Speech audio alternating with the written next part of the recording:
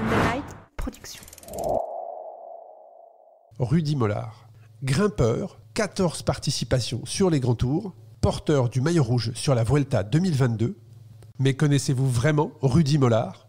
Par passion du vélo, Groupama vous propose la série de podcasts Face à Face. Partez à la rencontre des coureurs de l'équipe cycliste Groupama FDJ et découvrez leur personnalité. Bonne écoute Bonjour à toutes et à tous, bienvenue sur le podcast Dans la tête d'un cycliste. Au travers de la série Face à Face, proposée par Groupama, cela fait maintenant plus de six semaines que nous découvrons les personnalités des coureurs de l'équipe cycliste Groupama FDJ. Et aujourd'hui, nous allons partir à la rencontre du discret Rudy Mollard. Patrick Chassé est allé à sa rencontre, on découvre son portrait tout de suite et on en parle juste après pour en débriefer ensemble. C'est parti. Il y a un mélange de méfiance et de timidité chez ce garçon. Deux traits de caractère que vous percevez immédiatement dans son regard quand il vous voit arriver. Rudy Mollard est un garçon discret, mais d'abord avec lui-même. Ce qui évidemment nous donne quelques craintes au moment d'entamer cet entretien. Mais avant les mots, il y a les actes qui, au fil des saisons, nous ont permis de mieux comprendre sa personnalité.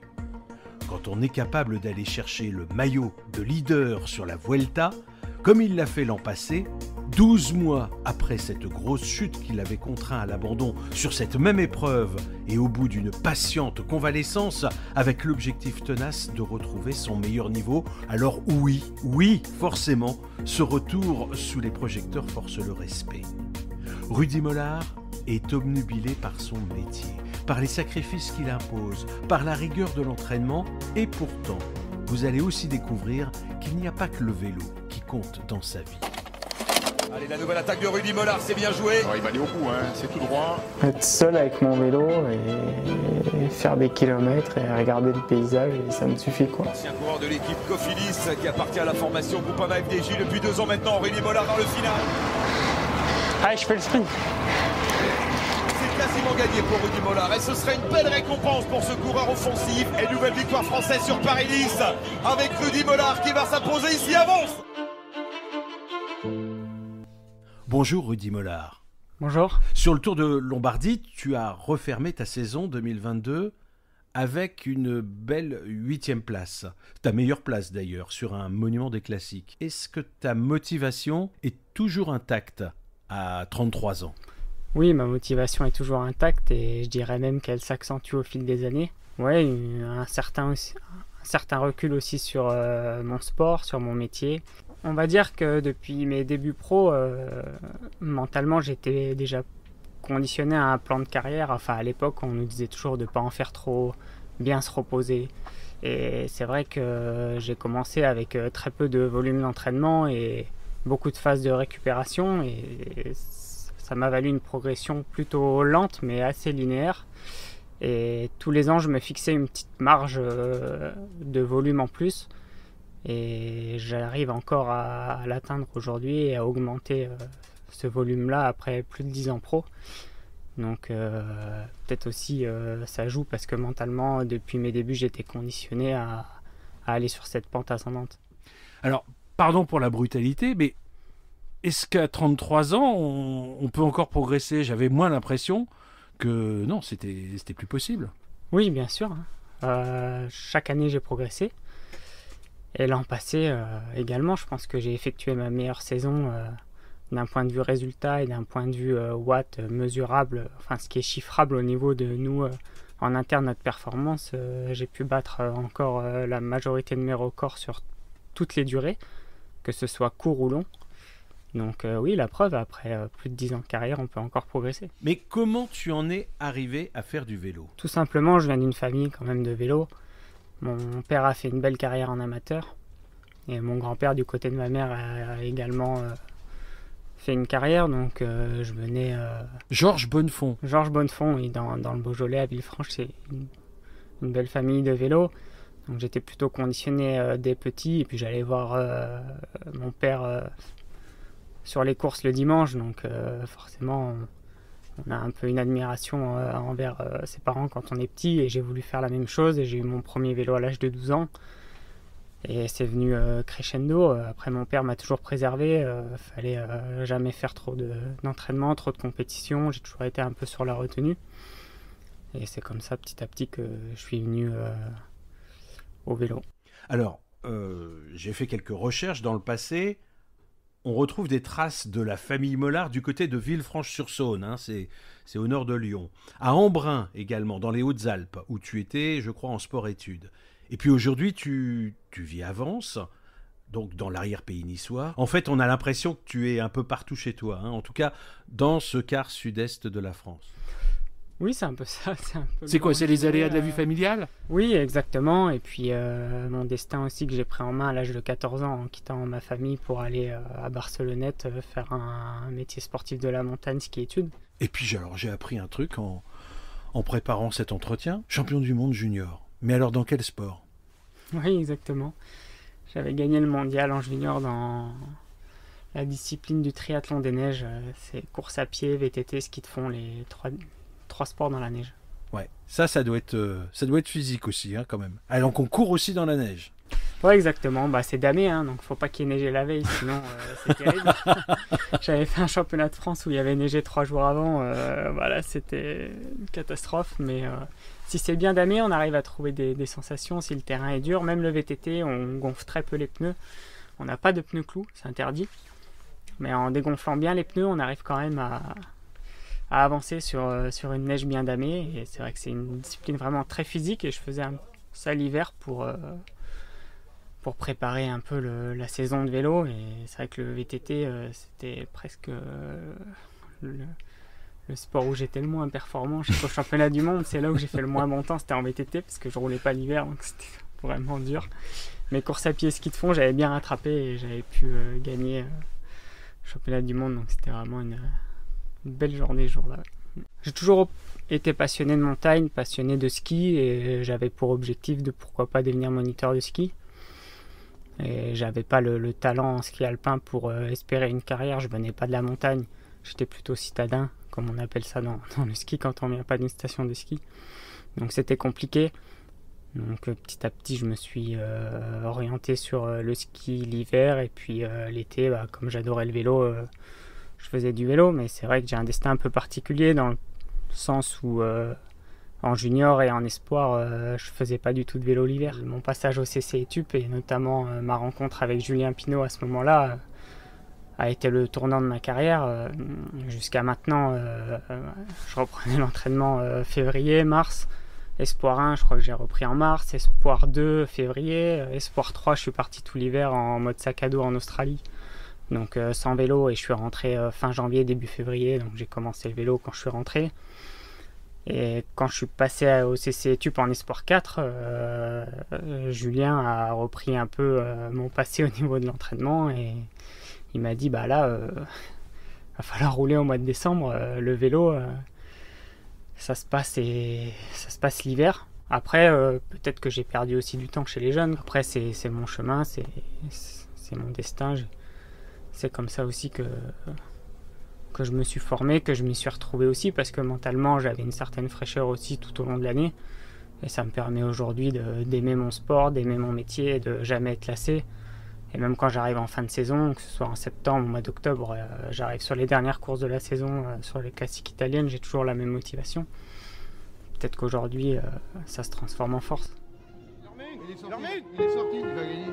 Allez mec, allez Putain, il va gagner, ils sont arrêtés. allez, on Allez, mec, allez Allez. Il va gagner? Non, t'en retournes Allez, mon Allez. Allez, mec, allez. Excellent. Allez, mon Rudy, allez. Allez. Il a besoin. Allez Allez, Rudy. Attends, attends, attends.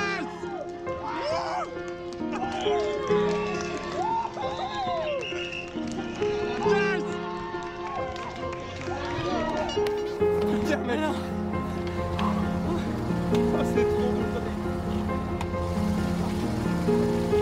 le rêve à la maison. à la maison, mais. Trop bon ça. La bise. Oh. Ah, ah.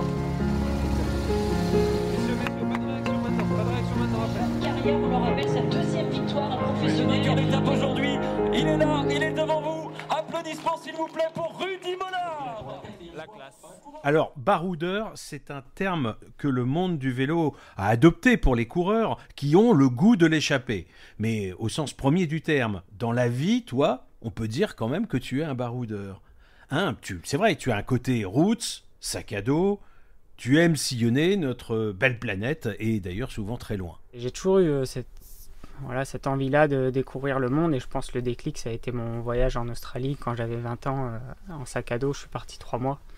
Vraiment à l'aventure, euh, je savais pas où j'allais dormir dès la première nuit. Et ça m'a vraiment euh, formé. Et on va dire que ça m'a vraiment fait grandir. Un, ça m'a fait un bond en avant dans ma vie euh, sur l'ouverture d'esprit pour, et la, ma façon de voir le monde. Et donc là, pour euh, cet hiver, Là, j'ai fait très classique, j'ai fait la Thaïlande. Et dès que je vais en voyage, j'essaye de, de faire des cours de, de cuisine. J'essaye aussi de souvent de loger dans les guest houses qui sont euh, plus sympas que les grandes chaînes hôtelières.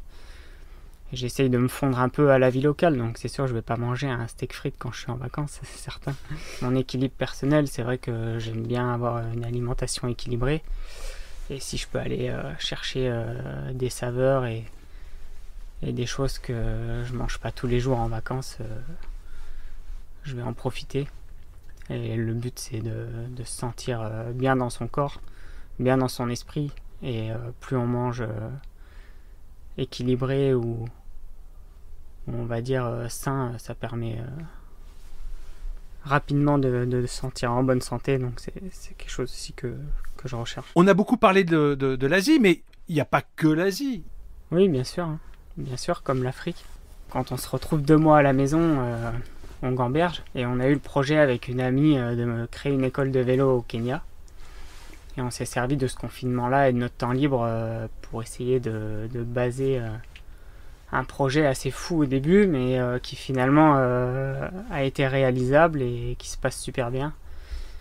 Et l'association s'appelle Fun Ghana. On, avait d'abord dans un premier temps Enfin, je dis on, mais c'est surtout une copine, Nathalie Fabreau, qui s'en occupe, mais j'ai essayé de l'aider, surtout dans la communication, et, essayer d'apporter un, financement euh, pour aider les enfants là-bas euh, sur place dans une école au Kenya. Et on avait commencé par euh, toutes les mesures d'hygiène, faire un puits pour l'eau potable, pas d'eau potable, des sanitaires pour les enfants. Il n'y en avait pas, une cantine pour qu'ils puissent manger le midi, des fournitures, scolaires. etc. Toutes les bases au niveau de, l'hygiène. Et puis une fois que tout ça a été créé, on s'est dit bah pourquoi pas leur proposer une activité extrascolaire qu'ils avaient rien du tout. Et là-bas ils connaissent pas le vélo. Beaucoup d'enfants ont jamais vu un vélo de leur vie. Et on s'est dit bah allez euh, feu, on essaye de, créer une petite piste de, de, de 300-400 mètres euh, à l'extérieur de l'école.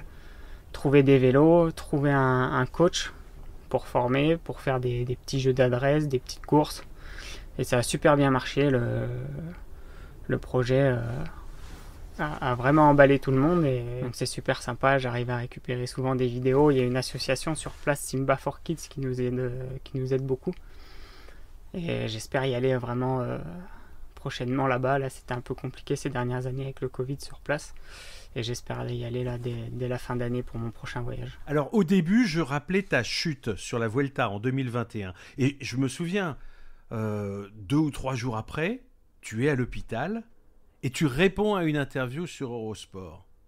Et en t'écoutant, on a un peu l'impression qu'à tes yeux, finalement, c'est pas très grave. Un pneumothorax. non, mais il faut le savoir, c'est pas une blessure bénigne. Et au final, tu resteras pratiquement deux mois, deux mois sans remonter sur un vélo. Est-ce que tout de suite, tu avais réalisé, en donnant cette interview, que tu allais rester si longtemps inactif? Non, sur le coup, euh, bah d'ailleurs, quand j'arrive à l'hôpital, je regardais déjà les billets d'avion pour rentrer le lendemain. Sauf qu'après le scanner, euh, on m'a tout de suite dit euh, là, c'est un peu plus grave que prévu, oublie, tu vas rester quelques jours ici. Et c'est vrai que plus les jours passaient, plus j'avais mal, et là, j'ai compris quand même que c'était assez sérieux. Après, j'essayais de rester quand même optimiste, hein, je voulais pas non plus montrer que c'était grave, donc je- voilà, j'ai essayé quand même de relativiser la situation, mais euh, c'est vrai qu'au fond de moi, des fois, ça n'a pas été facile, mais quand j'ai pu euh, me relever euh, et faire les remarcher à peu près correctement le cinquième jour, je me suis dit allez une fois à la maison, tu vas bien te reposer et puis si tu prends le temps de pas revenir trop vite, tu pourras revenir. J'étais pas non plus dans le coma ou, euh, ou à l'hôpital pendant plusieurs semaines. hein. La, la situation était quand même plutôt gérable, donc euh, j'ai voulu plutôt garder le côté optimiste que dramatiser la situation. Oui, c'est vrai que dans le vélo, on voit quand même souvent, souvent, en tout cas dans le sport professionnel, parce que vous êtes souvent sur un vélo aussi, on voit souvent quand même des accidents euh, qui font peur. Est-ce que la peur fait partie justement de votre métier? Oui, bien sûr. Euh, on a tout le temps peur. Dans le final d'une course, euh, et qu'on est tous euh, coude à coude à 60 km/h, euh, oui, on a peur. hein, on a peur de tomber. Les descentes euh, où il faut prendre des risques pour pas se faire distancer, euh, on a peur. J'ai des amis qui font de la MotoGP. euh, ils me disent les grands malades, c'est vous, c'est pas nous. Nous, sur notre moto, il y a l'airbag, on glisse, on se fait pas mal. Et c'est vous, les grands malades à 70 km/h avec un bout de lycra sur le dos. euh, vous, si vous tombez, euh, c'est. Pourquoi finalement dans le vélo, on est aussi, on est aussi peu protégé? Bah justement, des fois, je me pose la question. Euh, Aujourd'hui, avec les avancées technologiques, pourquoi on n'a pas, ne serait-ce qu'un cuissard un petit peu renforcé sur les hanches, plutôt que d'être plumé de partout? Je pense qu'il y aurait peut-être des technologies à, à apporter dans le vélo. Certes, il y a le côté aéro, il y a le côté poids euh, qu'il faut optimiser, euh, etc. Mais euh, c'est vrai que niveau équipement, on- on n'a vraiment rien et à mon avis, il y a à travailler là-dessus pour les années futures. Parler de soi, c'est difficile, comme on est en train de le faire là? Oui et non, c'est vrai qu'on le fait pas tous les jours. La vie que je vis aujourd'hui, euh, je l'adore. Et revenir un petit peu en arrière sur euh, les différentes émotions qu'on et notre destin, euh, je suis content et fier de mon parcours. C'est vrai que j'ai la vie dont j'ai rêvé petit. Je fais le sport que j'aime. Ma copine aussi, euh, Manon, ça fait plus de 10 ans qu'on est ensemble. euh, on, passe des moments extraordinaires ensemble. Chaque journée, euh, je, je la vis à 100% et voilà, j'aime ce que je fais et je pense que c'est le principal. Si dans la vie on arrive à avoir un certain, certain degré de, de bonheur chaque jour euh, et d'aimer ce qu'on fait, d'aimer la vie, le, le reste ça suit et tant que ça dure comme ça, euh, voilà, je, je signe. Vivons sans regret. Merci beaucoup d'avoir échangé avec nous. Merci, puis bonne chance pour la suite. Merci Rudy Mollard. Merci.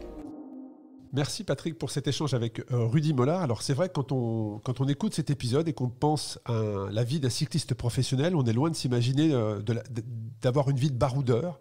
Et très clairement, Rudy Mollard, il a ce côté un petit peu baroudeur dans la vie, avec, euh, avec ses voyages sac à dos. Est-ce que vous avez eu l'occasion de, rencontrer beaucoup comme ça de, cyclistes professionnels qui, dès qu'ils en ont l'occasion, prennent leur sac à dos, leur basket et partent à l'aventure? J'ai l'impression, en tout cas, que c'est une, une mentalité qui tente à se multiplier. Non, avant, euh, dans le passé, c'était pas forcément ce que l'on voyait, mais il faut dire que partir sac à dos, euh, euh, bon, c'était pas forcément les grands sportifs qui partaient sac à dos euh, comme ça, euh, faire du l'autostop à la porte d'Orléans pour les Parisiens. c'est pas tout à fait l'image qu'on avait, mais c'était. Non, Rudy Mollard, c'est un peu ça quand même, hein, comme il se décrit, c'est-à-dire qu'il y a d'un côté Bon, le sportif, méticuleux, etc.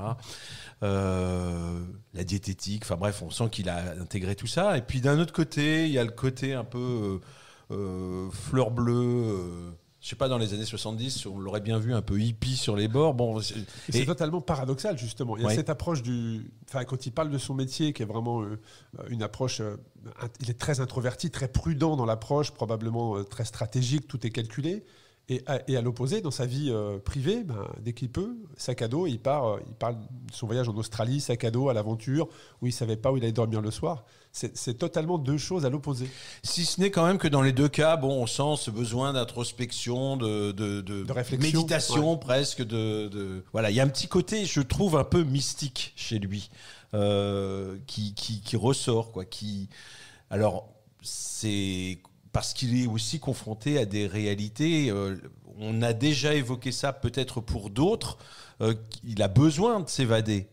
Mais lui, il le fait au sens propre. C'est-à-dire qu'il va réellement euh, prendre son sac à dos et, partir voilà, pour se ressourcer, pour, pour peut-être justement oublier la difficulté de son métier. Bon, bah voilà, c'est, il faut respecter ça. hein. C'est quand même quelque chose. Alors, ça dénote, c'est pas habituel, c'est vrai. C'est, c'est presque. J'imagine un Marc Madior regardant ça en levant un petit peu le sourcil et en se disant euh, est-ce bien raisonnable tout ça? Mais il s'est construit comme ça. Il le dit, hein, la troisième année espoir, il part en Australie sac à dos. Euh, non, un jeune en troisième année espoir, en général, euh, il pense qu'il y a une chose, il y a un truc obsessionnel, c'est le contrat qu'il doit signer. Et, puis là aussi, on retrouve euh, un trait, de, un trait de caractère, je dirais, euh, avec d'autres coureurs de, l'équipe Groupama euh, FDJ, c'est justement ce- cette envie de partage, d'aider. Et, notamment, bah, Rudy, il est très investi dans le, partage, dans l'associatif, avec l'association qu'il a au Kenya, qui s'appelle Fungana. Est-ce que vous étiez informé de, cela? Alors oui, parce que j'avais vu effectivement qu'il en parlait déjà dans, je crois que c'était dans la presse quotidienne régionale. Alors c'est intéressant, c'est qu'il a eu besoin de faire ça au moment du confinement. C'est-à-dire que là, bon, pour tous les, pour tout le monde, mais aussi pour les sportifs, ça a été une période un peu euh, où il fallait gérer, quoi, Euh, garder à la fois ce statut de, de sportif de haut niveau, euh, tout en étant contraint. Et lui, il avait besoin justement de ça pour pas gamberger probablement. Bref, parce qu'il y avait sûrement une proposition. Il le dit, c'est pas son idée au départ, mais il adhère à, à ce, À ce à ce projet, projet, qui ouais. correspond un petit peu à, à, à ce ses qu'il valeurs. aime, à ses valeurs. Ben voilà, il a mis. Ça veut dire que dès qu'un sportif de haut niveau a un peu de temps disponible, là c'est un temps contraint, mais c'est quand même une réalité. Eh bien, il, il va quand même, là aussi, d'une certaine façon, optimiser euh, ce qu'il a au plus fond de lui-même, ses valeurs, euh, pour faire quelque chose de concret. Ça, c'est pas mal. transmission, ouais, effectivement. Et puis euh, quelque chose que l'on a que l'on a appris à, à Marc Madio, c'était assez drôle dans l'échange qu'on a avec lui, c'est c'est ce titre euh, de Rudy Mollard de champion du monde de triathlon des neiges. Vous étiez informé de ça? Bah, pareil, ça, c'est en préparant cet entretien que j'ai dé- j'ai découvert ça. Au début, je- bon, déjà, moi, le triathlon des neiges, je connais pas, mais enfin, en même temps, euh, on n'est pas tout à fait VTT, région. ski de fond. Ouais. C'est euh, incroyable. Ben, c'est incroyable. Et puis, c'est, c'est ce qui est incroyable, encore une fois, c'est qu'il découvre ça finalement euh, euh, sur le. C'est- Moi, ce que je trouve incroyable, c'est que souvent, les, jeunes, d'une manière générale, hein, je fais une grosse généralité, ont une passion. Le foot, euh, le, je pas, le vélo aussi, hein, pourquoi pas. Bref, une passion souvent exclusive. Et là, au fil des témoignages que l'on a pu recueillir, on se rend compte que leurs parents anciens sportifs souvent les, les incitent pas forcément à faire le sport qu'ils ont pratiqué seulement, mais à s'ouvrir à d'autres choses. Et, là, on a encore un exemple avec effectivement euh, Rudy Mollard, qui lui-même, bon, la région s'y prête, hein, il est du sud-est, donc il y a les montagnes, mais il va faire du ski, il fait pas le ski le ski alpin hein, où on se laisse descendre. Non, non, non. Il fait quand même le truc euh, compliqué, euh, ski de fond. Et puis en plus, derrière, il rajoute le triathlon, donc, qui est le truc encore plus dément. Euh, il va falloir courir dans la neige. Non, mais essayer de courir dans la neige, c'est un peu comme courir dans le sable. Enfin, c'est pire pour moi, mais parce qu'on on, on glisse pas dans le sable. Mais en plus, bon, le, le- le ski de fond et, et- et le VTT sur, euh, sur la neige. Et lui, il le raconte ça de façon très ludique. Très naturel, ouais, ouais, comme s'il y avait rien d'exceptionnel quelque part. Non, rien d'exceptionnel. Et il, il le fait à un, un certain niveau. Il est quand même en, en sport-études pour faire ça. Donc ça veut dire qu'il est prêt à sacrifier ses loisirs. Parce que sport-études, faut rappeler, hein, c'est quand même, c'est les études et le sport. Il reste pas euh, beaucoup de choses, beaucoup de temps, pardon, pour faire autre chose. C'est, moi, je trouve ça, euh, bah, je trouve que c'est un beau parcours. En tout cas, c'est exigeant et ça, dénote d'une vraie capacité, euh, capacité physique qu'il a. Et, je trouve que ça fait bien le lien avec le côté sportif parce que Rudy Mollard, c'est 10 ans de progression. C'est-à-dire qu'il ne cesse de progresser. Il le dit très bien d'ailleurs dans, dans l'échange. hein, c'est, toutes ces, ces, ces- ces datas sont, sont meilleures d'année en année. Donc ça fait 10 ans de progression. Là aussi, est-ce que c'est une particularité pour un cycliste professionnel qui a des, une progression, enfin des, des chiffres, des données euh, bien meilleures à 33 ans qu'il pouvait les avoir à 25 ans? Mais je crois, je crois effectivement que c'est un parcours assez rare. Alors lui, il a une explication qui est rationnelle. Il dit j'ai, je me suis toujours, je me suis toujours économisé. Ah, Il le dit clairement. oui. Comme si on avait un capital. Enfin, c'est comme si. Je pense que On ça l'a, correspond on à l'a. réalité. hein. Comme si on, on a un capital effectivement euh, physique, euh, tout à chacun. hein. Bien sûr, un champion avec euh, une marge plus importante, mais qui est périssable, qu'il faut entretenir, qu'il faut voilà, comme d'autres vont comme Arnaud Desmar va faire de la permaculture, peut-être, eh bien lui, lui, c'est pas un bout de terrain qu'il va aménager, c'est plutôt ce, ce- ce- ce capital santé. Et, euh, et- c'est marrant parce qu'il dit peut-être que j'ai perdu un petit peu de temps. Peut-être qu'il aurait pu aller plus haut, mais moins longtemps. Enfin, moi, c'est comme ça que je l'interprète.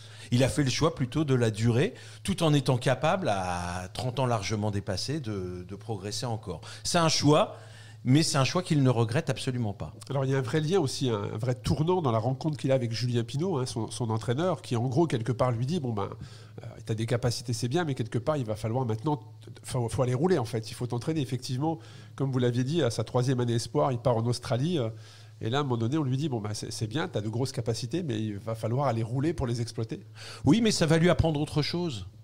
Il n'a pas perdu son temps. Je, je aussi à ce que je disais avant, mais euh, en répondant bien à votre question, c'est-à-dire que s'il part en Australie au moment où on songe plutôt à une carrière professionnelle, il y va pas, il y va pour le plaisir, mais il n'en revient pas en ayant perdu son temps. Il va apprendre autre chose. Il va apprendre justement à, à- comment dire, à, à entre- à- à développer euh, des choses dont on ne parlait peut-être pas beaucoup quand il est passé professionnel. La qualité de l'alimentation, il y fait tout de suite référence. Il En cours, Asie, on mange beaucoup Il mieux. va prendre des cours effectivement en, Asie, ouais. Mais très tôt, il va découvrir ça. Il- Très tôt, il va découvrir que loin de chez lui, ben, on prend peut-être, en tout cas dans les milieux qu'il a fréquentés, mieux soin de son corps, la diététique, bref, des choses qui sont des, vertus évidentes. Quand Rudy Mollard passe professionnel, il n'y a pas encore dans les équipes de diététiciens. Euh, ça va venir d'ailleurs, il va, il va d'une certaine façon euh, vivre cette évolution euh, à son corps euh, défendant parce que voilà il, il, il, on voit que les habitudes vont, changer et lui est complètement proactif dans cette, évolution. Et puis c'est vrai qu'on parlait aussi, on, re- on revient un petit peu en arrière, mais dans les, gènes, le côté passation, transmission. Alors, Rudy Mollard, dans, sa génétique, il y a un ancien champion qui est Georges Bonafont aussi, hein, dans la région, du, dans la région Rhône-Alpes. Alors, Georges Bonafont, petite perso, moi j'ai cru avec lui, euh, et à 60 ans passés, il était capable encore de nous mettre des belles raclées. Donc là aussi, il y a cette lignée euh, qui, transpire un petit peu comme d'autres cyclistes professionnels. Oui, euh, c'est c'est probablement bon bah lui en l'occurrence c'est son grand-père donc il a la, la transmission elle est elle est évidente. Moi ce que je retiens c'est que souvent chez les sportifs et les coureurs en particulier le papa ou la maman sont ceux qui vont donner l'impulsion parfois sans le vouloir mais vers vers le vélo en l'occurrence mais souvent il y a la volonté, eux, de faire, de réaliser quelque chose en correspondance non pas à leurs parents mais à leurs grands-pères. Euh, on l'a entendu plusieurs fois et je peux vous dire même des coureurs qu'on n'a pas entendus qui, qui euh, moi m'en ont parlé. euh, euh, on- a le, cette, cette envie, voilà, même si on n'a pas connu le grand-père. euh, euh, je sais pas, j'ai en mémoire par exemple Mathieu Ladanius qui fait référence à son grand-père. Alors là, c'était pas un sportif, c'était un pompier.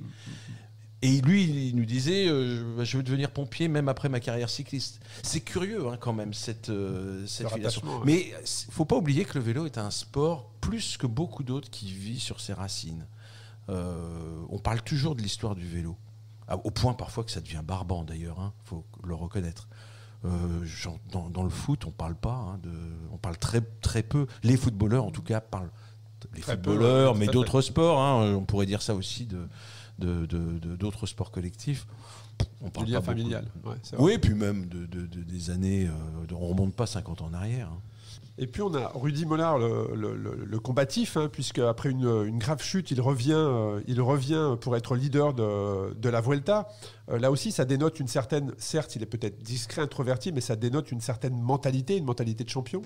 Et c'est ça qui est le plus difficile à percer. C'est-à-dire que euh, il va effectivement s'infliger, mais ça d'une manière générale, hein, pas seulement pour, euh, euh, pour lui, Rudy Mollard. Bon, il a connu un- une grosse chute. il, faut le temps de la convalescence. Il faut aussi après le travail pour revenir au même niveau. Mais ce que les sportifs n'aiment pas trop raconter, ils n'aiment pas trop s'épancher là-dessus, euh, c'est, euh, je dirais, le doute. C'est-à-dire tout l'aspect mental, psychologique.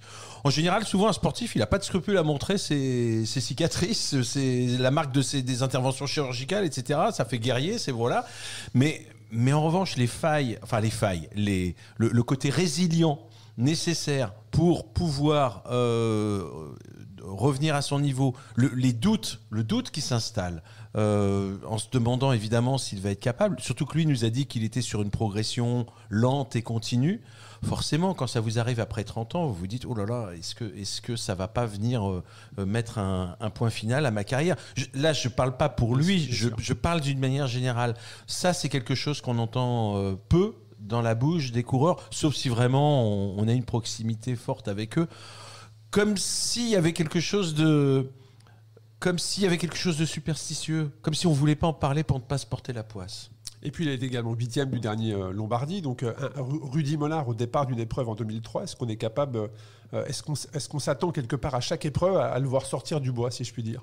Bah, Rudy Mollard, c'est un coureur qui est à la fois euh, souvent annoncé, euh, mais qui est un peu imprévisible. C'est-à-dire qu'il est annoncé, il fait partie des cadres de l'équipe. C'est un coureur qui peut, euh, à la fois, euh, si on lui euh, confiait cette mission, aller chercher un, bon classement général et, comment dire, euh, un, niveau sur une course par étape, mais même dans, une course d'un jour un peu difficile, un peu montagneuse. Mais c'est pas ce qu'on lui demande la plupart du temps. En revanche, c'est l'un des rares à qui on pourra dire, tiens, bah finalement, je sais pas parce que le leader est défaillant, ou lui donner un bon de sortie, une ouverture, et lui va s'y engouffrer. Et tout de suite, il va profiter de cette opportunité. C'est pas donné à tout le monde. Il est prêt. Il est prêt. Oui. Et, pareil, hein, c'est une question que je vous pose depuis maintenant euh, cet épisode. hein, mais que- quel, quel mot vous poseriez sur euh, l'échange que vous aviez eu avec Rudy Mollard? Alors c'est presque un constat d'échec, mais c'est pas. Bon, on l'a entendu, c'est c'est intéressant quand même, mais malgré tout, c'est secret. Il est secret.